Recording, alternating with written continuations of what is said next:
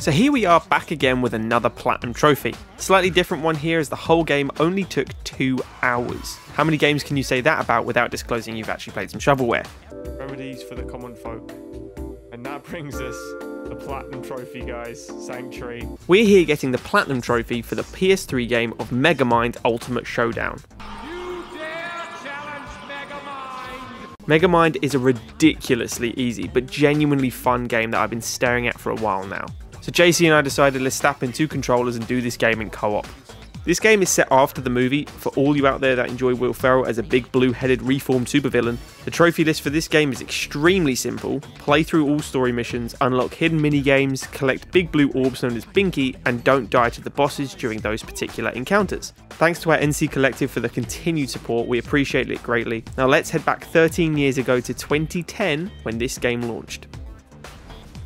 To start the game we have a home base which also has a trophy for collecting Binky in this area. It respawns after every level. From the base we can see collectibles, select levels and upgrade our weapons. There are no trophies tied to upgrades though.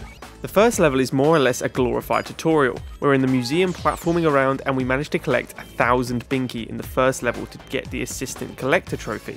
It's extremely easy to collect this stuff in all levels as it drops from enemies and every object you destroy.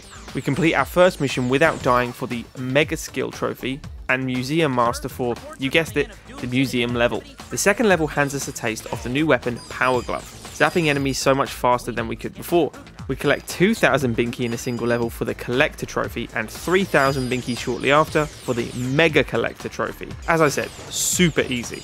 This game does a really good job of creating fun from nothing. Literally bouncing around the area blowing up cars will entertain me for hours. Well, JC and I did this in co-op, so entertain us for hours. We complete the level Downtown Domination and get the trophy Pod Race for unlocking the Pod Race minigame. We then come to our first boss in the game, Destruction Worker. As I mentioned at the start, we must defeat each boss without dying to earn extra trophies for the levels. Moving away from this crane ball as it slams to the ground allows us to put a big pile of explosives where the destruction worker stands.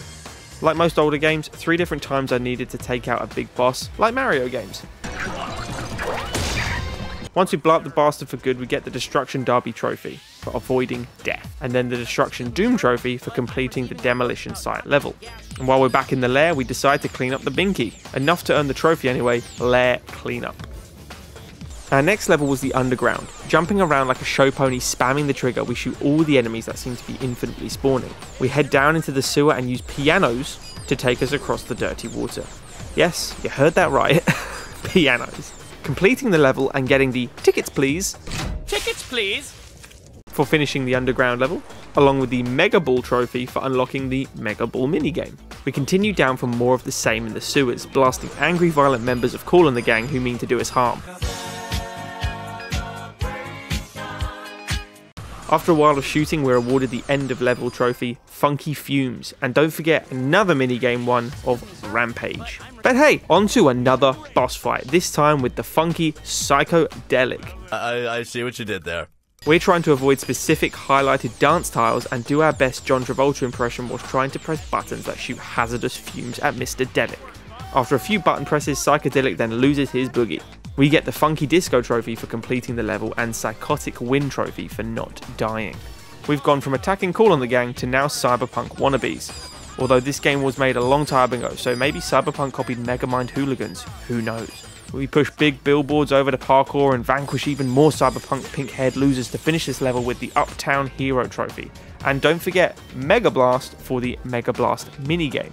We stick to near enough the same layout, jumping across multiple car parks as well as destroying those snotty little punks. Here we claim our next story trophy of Hot Pavement and Sticky Boots for, I believe, the final minigame. Once dealt with all those pesky troublemakers, we move on to our third boss fight Hot Flash. Hot Flash throws giant fireballs constantly at you like she's Super Mario, and her final attack of each phase is a wave of fire where there just happens to be three very well placed fire hydrants. Coincidence? I don't think so. We can use these to stop that blast. Once again, we use the series of Flea to stop Hot Flash in her tracks, and we're awarded with a further two trophies Flash in the Pan for defeating Hot Flash without dying, and Hot Flash Fizzle for finishing the level of the Parklands. But alas, we move on to our final level of this short and extremely satisfying game.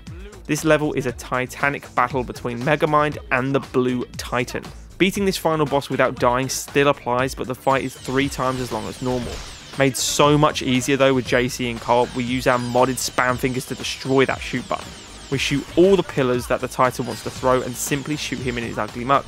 We unlock the trophy Titanic Battle for finishing the level without dying, along with Tame Blue Titan for completing the level, and finally, the trophy for finishing the game, which of course is our final trophy, and therefore our Platinum Trophy.